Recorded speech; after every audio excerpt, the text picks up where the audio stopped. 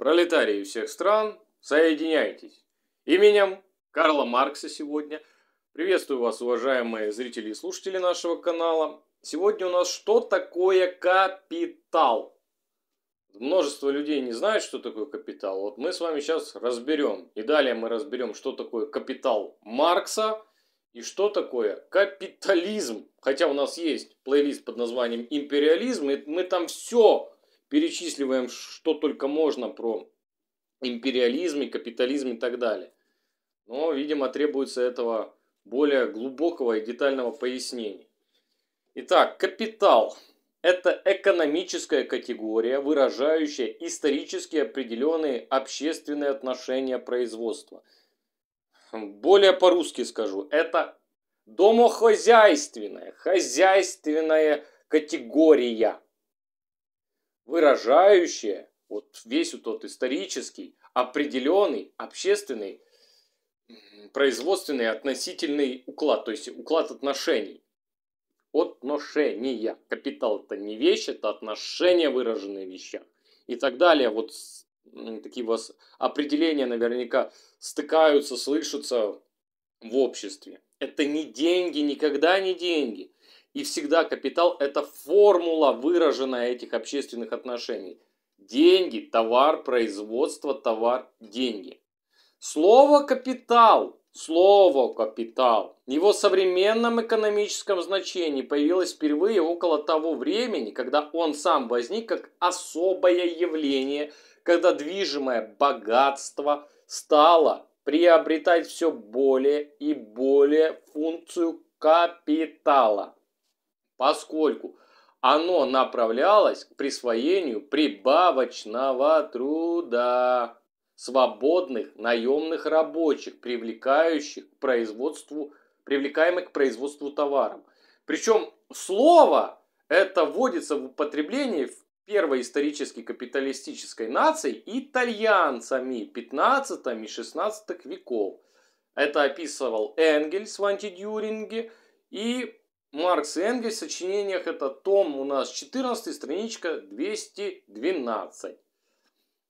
О возникновении и развитии капитала мы поговорим, когда будем рассматривать капитализм.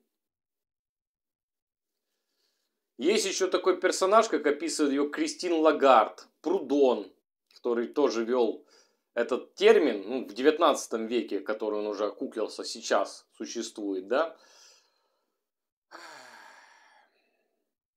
уже после того, как Маркс дал определение коммунизма в его экономических философских рукописях 1844 года. Также капитал, если в древнем значении имеется, оно от слова капитус, от стада посомого скота. Капитал, возвращаемся обратно, как общественное отношение возникает лишь на определенной ступени развития, когда рабочая сила, благодаря отделению непосредственного производителя от средств производства, становится товаром, а средства производства в руках класса капиталистов превращаются в средства эксплуатации наемного труда. Ну, буржуазии, капиталистов, капиталист это как бы крайняя степень из класса буржуазии. Рабочий класс будучи свободен от средств производства, вынужден продавать свою рабочую силу классу капиталистов. Всякий раз, когда я говорю, что рабочий класс проститутки и капиталисты проститутки, я всегда уточняю, что рабочий класс вынужден быть проституткой. Он должен вступать в половые отношения, вынужденно продавать свою рабочую силу э, как товар, кстати, классу капиталистов. Вместе с тем, Простой это, а вот капиталист, он ну, проститутка в большем смысле слова, потому что давление частной собственности над ним, оно уже равно его желанию. Вместе с тем, простое товарное хозяйство, где формулой товарного обращения было товар, деньги, товар, вот всегда помните, комрады, никогда не путайте этого, пожалуйста. Пожалуйста, помните, что товар, деньги, товар – это формула товарного обращения простом товарном хозяйстве, в товарном производстве. Потому что товарное производство возникает раньше капитализма.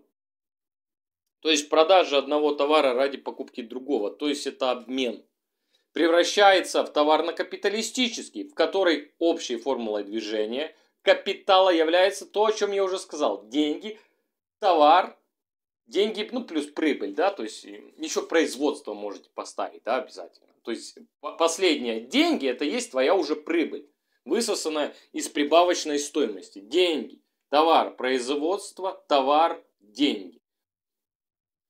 То есть покупка для продажи с прибылью. Этот избыток над первоначальной стоимостью, создаваемой трудом наемных рабочих, присваиваемой капиталистами, Маркс называет прибавочной стоимостью. Самовозрастание стоимости превращает ее в капитал. Процесс производства превращается в процесс производства прибавочной стоимости.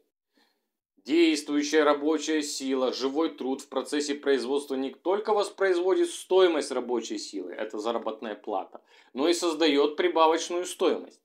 С точки зрения капиталистического производства весь этот процесс есть само произвольное движение, превращенное в рабочую силу первоначальной постоянной стоимости. Это Маркс «Капитал» в томе первом, восьмое издание 1935 года, страничка 148. При господстве капитала средства производства становятся средствами впитывания чужого труда. Теперь уже не рабочий применяет средства производства, а средства производства применяют рабочего. Вместо того, чтобы быть потребительными им, они потребляют его как фермент из собственного жизненного процесса, а жизненный процесс капитала состоит только в его движении в качестве самовозрастающей стоимости. Простое превращение денег в средства производства превращает последнее в юридический титул и в принудительный титул на чужой труд и прибавочный труд. Это Энгельс о Маркса 1933 года издания, страничка 73. Таким образом, средства производства в руках класса капиталистов становятся той материальной силой, то есть что мы потрогать можем, которая им обеспечивает господство над людьми. То есть в первую очередь в умах, в умах, то есть люди материальное начинает давлеть, и умы начинают подчиняться. Капитал в наиболее абстрактном своем определении, выступая на поверхности явлений как самовозрастающая стоимость, выражает в скрытой форме производительные отношения между классом капиталистов и классом наемных рабочих. Делением капитала на постоянный. Постоянный это у нас э, средства производства, сырой материал, там средства труда, который не изменяет величины своей стоимости в процессе производства и переменный – это затрачиваемый на покупку рабочей силы, который не только воспроизводит стоимость рабочей силы, но и создает сверхстоимость, присваиваемую, присваиваемую да, заговорился уже, классом капиталистам. То есть капиталисты присваивают себе. Маркс, он скрыл тайну создания прибавочной стоимости. Именно Маркс это сделал, то есть до него этого никто не мог сделать. Таким образом, за вечной формой капитала им была скрыта особая историческая форма эксплуатации наемного труда при капитализме, а следовательно, переходящий характер капиталистических отношений. Всякий раз, когда вы слышите с экранов там, американского телевидения, что Маркс не прав, Маркс не прав, потому что они его боятся как огня, потому что он скрывает их вранье, их ложь, этих американских э, капиталюх, ну в основном их потому что они больше всего оперируют с классовой борьбой, но от Карла Маркса стараются открещиваться. Я про россиянских вообще не говорю. Эти вообще сказали, что эксплуатации уже нету. Капитал, пишет Маркс, это не вещь, а определенная общественная принадлежащая определенной исторической формации общества производственное отношение, которое проявляется в вещи и придает этой вещи специфический общественный характер.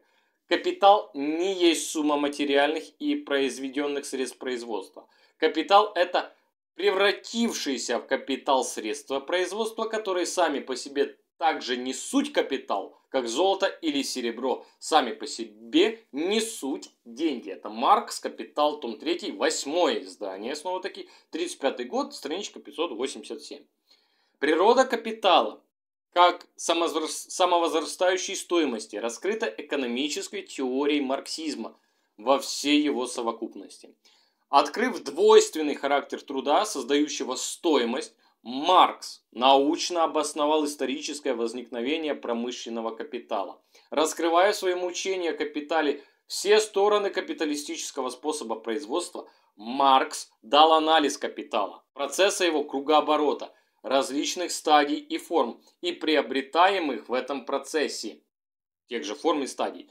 Маркс неоднократно подчеркивал, что капитал можно понять лишь как движение, а не как вещь, пребывающая в покое. Вот многие современные марксисты забыли напрочь это понятие покой. Вот ну, не, не шарят они. А здесь Маркс вам пишет, ну там говорят относительный покой, да, относительный. Ну почему вы пропускаете покой, вашу мать? Есть покой, состояние покоя есть, да пусть оно относительно. Есть покой. А где вечный покой, бляха-муха? Вечный покой в мире идеальных вещей. В абстракции. Там ничего не движется, там нету движения. И не может там быть движения. И на этом есть и противоположность мира движения, то есть мира телесных вещей, где есть у нас относительный покой. И есть мир вечного покоя, где нету движения, где нету телес. Там что такое свойство материи, что такое материя, да. Вот материя по Платону это не бытие, по Аристотелю это чистая деятельность. Что есть свойством чистой деятельности? Это мышление, например, да. А является ли мышление чистой деятельностью?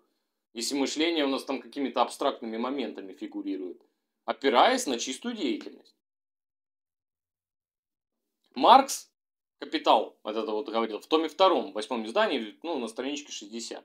Дальнейшее развитие категории капитал в конкретной форме в процессе производства и обращения взятых в целом Маркс дает учение о кругообороте капитала в определении основного и оборотного капитала.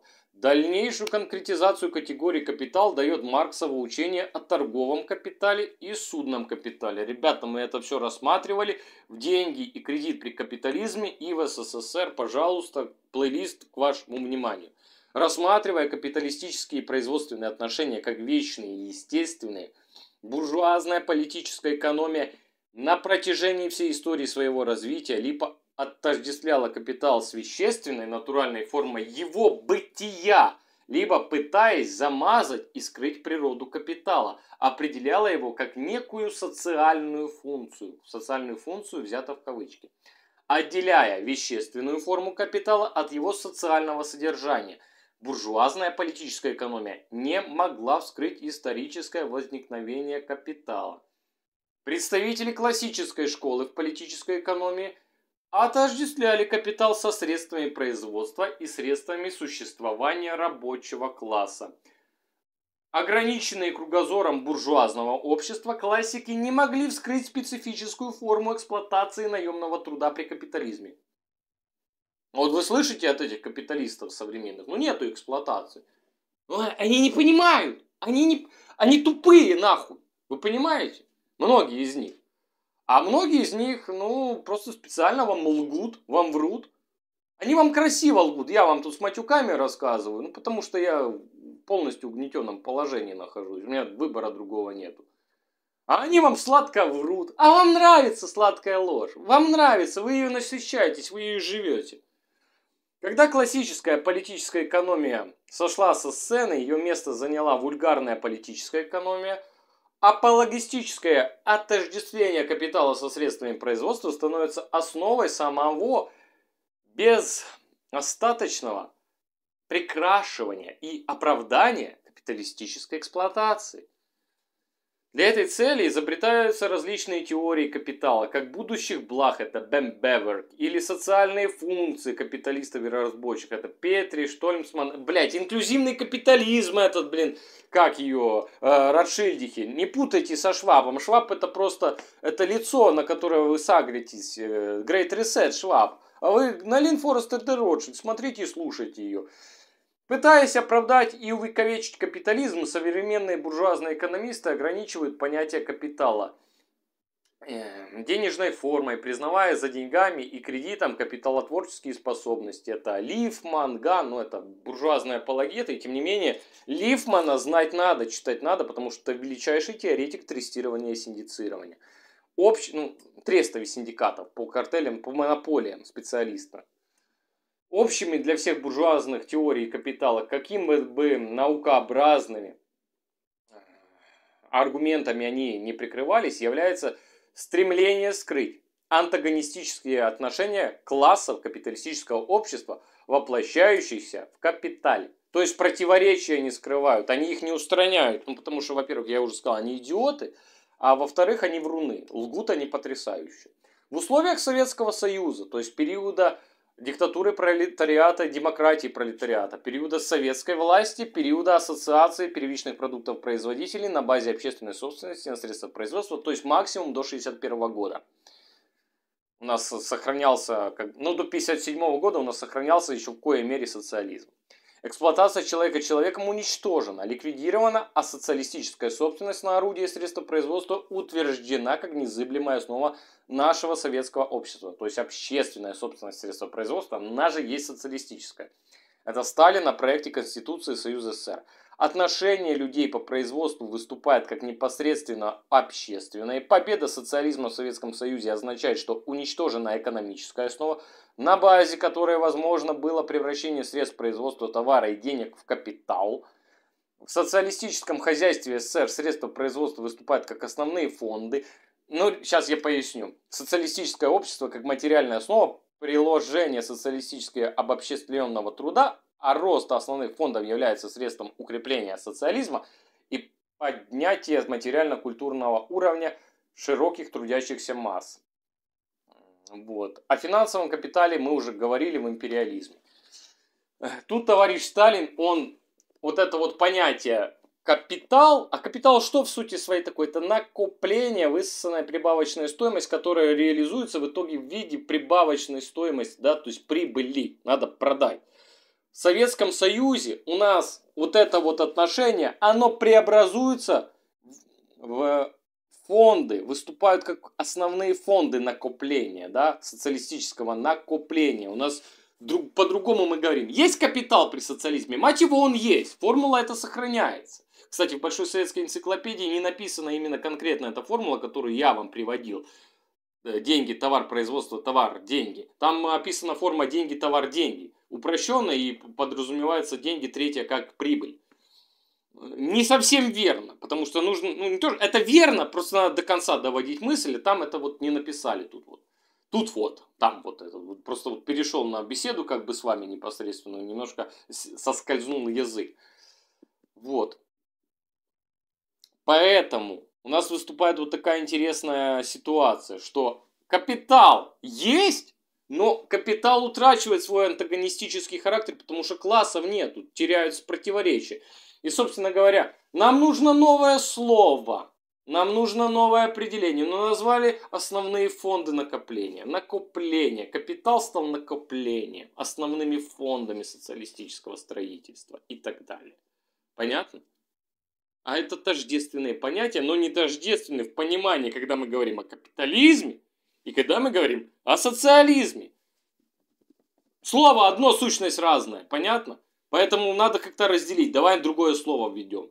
Давай введем. Как будем называть? Основные фонды накоплений. Точно так же и с трестами синдикатами. Вот они, вот о трестировании и синдицировании мы с вами как-то вот говорим, у нас на канале тоже есть, но будем еще глуб, глубже и глубже уходить в это все. Трест, синдикат это что? Это объединение ну, главка, ну, не главки были, ну, был, был период главкизма. Ну, наркоматы стали. Ну, просто наркоматы. Да? Объединения, слияния. Ну, на английском-то языке это траст, это доверительные отношения путем объединений. Все, на этом я заканчиваю. Благодарю всех за внимание. Сила в пролетарской правде.